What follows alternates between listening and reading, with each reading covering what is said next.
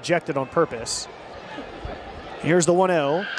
And it's hit in the air down the left field line. Robinson coming over. Trayvon will dive and make the catch.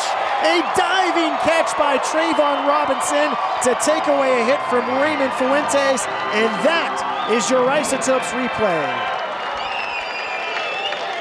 Remember that play and listen to the opening drive.